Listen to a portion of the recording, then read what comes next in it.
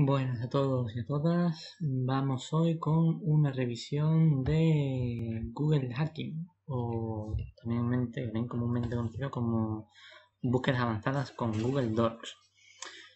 Esto no son más que búsquedas utilizando una combinación de herramientas que nos ofrece Google para llegar a información que no está visible mediante una navegación normal. Entonces vamos a empezar por abrir un navegador y dirigirnos a la web de Google. El primero que vamos a ver es básico, simplemente vamos a darle un tipo de sitio donde queremos buscar, en este caso empresas son compañías, un tipo de archivo que vamos a buscar, vamos a empezar por buscar PDFs, donde vamos a buscar las palabras top secret. Vamos a ver qué sale. Vale, parece ser que tenemos bastantes resultados. Aquí vamos a encontrar todo tipo de búsqueda, desde recomendaciones que se denominan top secret hasta documentos que realmente las empresas quieren mantener en secreto. Eh, parece ser que lo que estamos obteniendo en este caso son los, mm, los primeros pero vamos a ver qué pasa si cambiamos el .com por el .gov. Estos son empresas gubernamentales.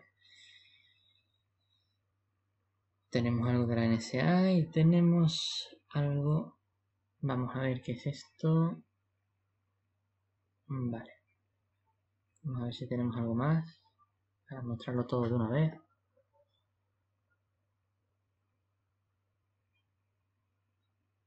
Algo del satélite Popti. Bueno. yo creo que vamos a dejarlo ahí y vamos a ver. Bueno, pues esto parece que por la fecha del 61 esto parece un documento que se ha digitalizado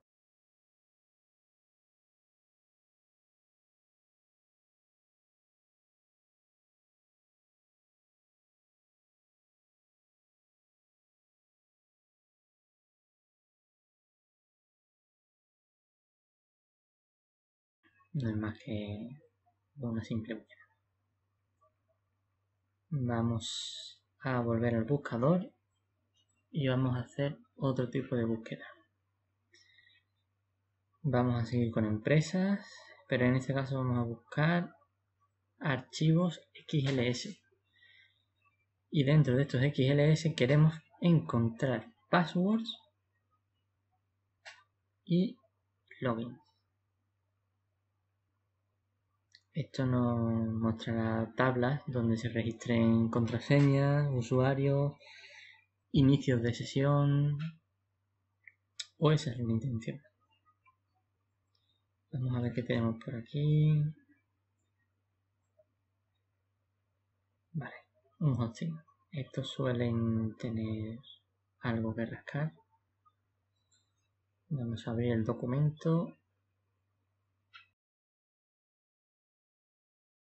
Y una vez abierto, vamos a ver qué nos encontramos. Vaya, pues del tiro. No ha hecho falta buscar mucho más para encontrar los primeros, las primeras contraseñas, los primeros mails, los dominios a los que apuntan. Y esto parece, esta otra pestaña,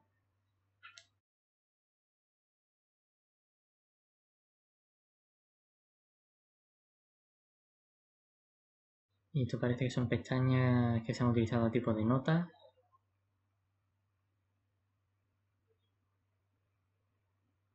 Vale, pues un ejemplo de la poca seguridad que podemos encontrar en algunos hosting.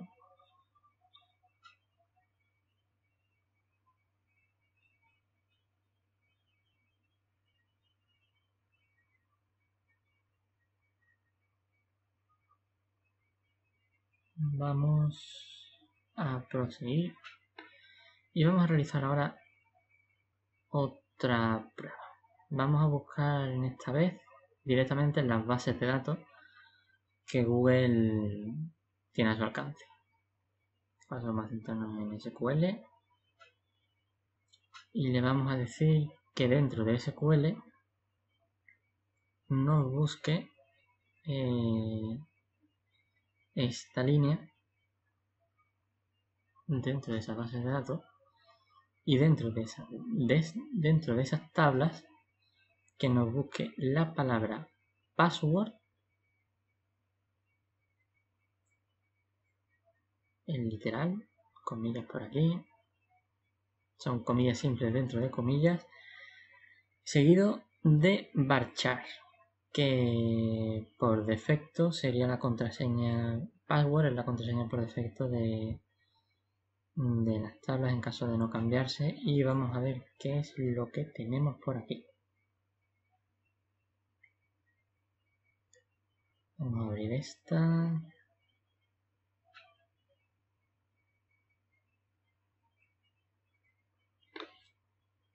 Vamos a abrir esta otra.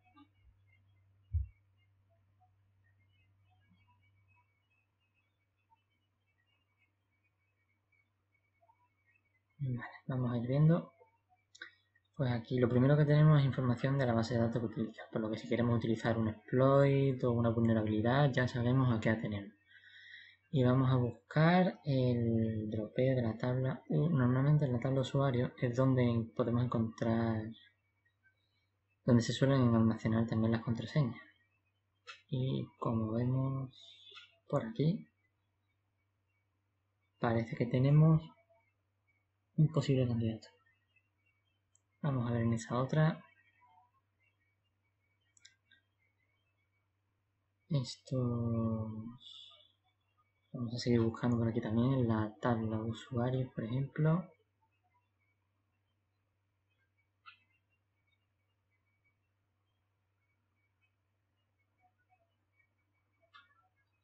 Aquí la tenemos. Y vemos que, bueno, en este caso no hemos dado con nada, a no ser que ese 1, esa contraseña, no, no es nada. Vamos a seguir buscando.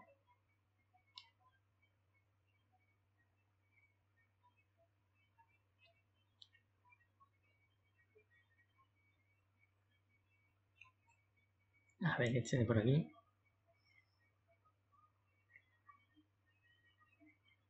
No, vamos a pasar a abrirlo. Tiene que haber más información.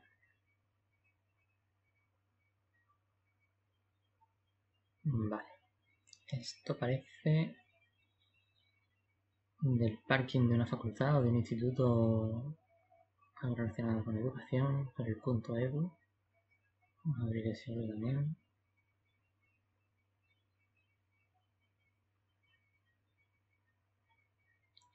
Vamos a ver qué es lo que tenemos.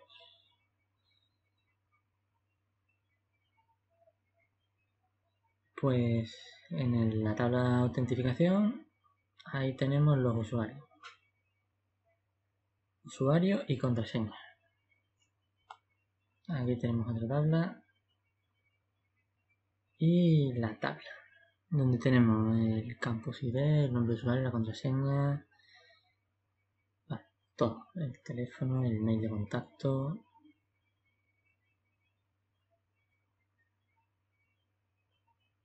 Vamos a seguir buscando y esta vez vamos a cambiar al dork in title combinado con in URL. Esto nos va a dar una búsqueda, nos va a hacer la búsqueda del literal index of en el título de la web y dentro de la URL vamos a buscar, vamos, nos lo vamos a filtrar mm, por aquellos que contengan root y a ver qué nos sale.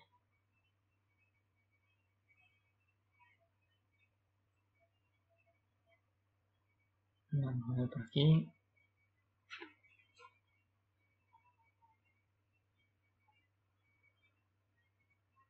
A ver qué es lo que tenemos.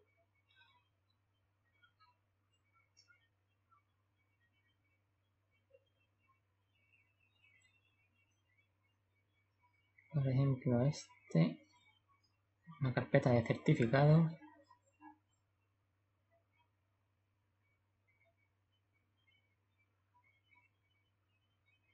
Este otro que parece una bolsa de empleo.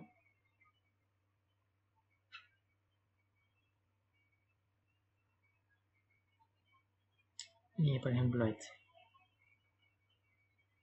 Vamos a ir viendo, bueno, aquí tenemos que podemos no, salir directamente Aquí tenemos tres carpetas y en las tres parece haber certificados. Si no tenemos el certificado de root, posiblemente estaremos obteniendo información personal muy personal de alguien, por lo que podemos incluso firmar en su nombre en cualquier sitio de internet. Aquí tenemos el de bolsa de empleo y tenemos todo un directorio para husmear. Esta es la web, si vamos hacia atrás, acabamos en el dominio, pero lo que nos interesa es lo que no nos muestra el dominio. Tenemos carpetas cliente, carpeta empleo, fotos, logos, marcas. Eh, la verdad es que por ejemplo, en clientes, esto es uno de los posibles clientes. Eh, podríamos, podríamos incluso descargar todas las fotos de esta compañía o, o seguir tratando su, información. Vamos a ver, por ejemplo, aquí tenemos en root tenemos un árbol de directorio de un sistema Linux. Vamos a entrar en etc por ejemplo y esto es una cosa demasiado grave porque podríamos incluso acceder a su fichero de configuración si tuviese un firewall activo podríamos incluso acceder a esa configuración y modificarlo por ejemplo el SSH, aquí tenemos el fichero sshd-config donde tenemos toda la configuración del SSHD. Por lo que podríamos copiar sus reglas y, configurarnos un acceso a su directorio mm, saltándonos todas las barreras que haya puesto. Y bueno, vamos a seguir con este otro directorio que hemos encontrado y vamos a husmear un poquito en sus carpetas. Aquí tenemos muchos vídeos que ha subido este, esta persona. Imágenes. Los vídeos parecían ser de gameplay. Por lo que estoy viendo, sí, sí tiene Project y tiene no, sí. Seguramente se dedica a hacer reviews de, de videojuegos, aplicaciones, etc.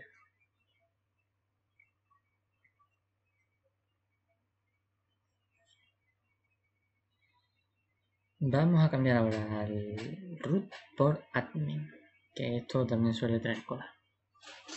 Vale, esto estaba esperando que saliese porque una vez que Google detecta demasiado tráfico eh, desde nuestra IP em, nos, o, a demasiada velocidad, demasiados cambios, demasiada velocidad, nos hace pasar un captcha para verificar que no somos un, PC zombie, sino que somos un humano que, que realmente está realizando estas tareas.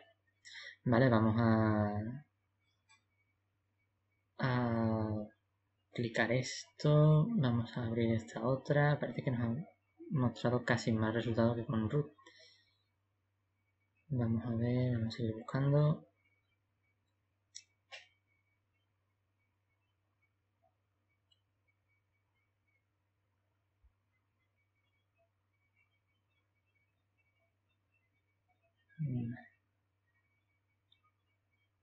Vamos yo creo que ya está. Vamos a ir tirando con lo que tenemos.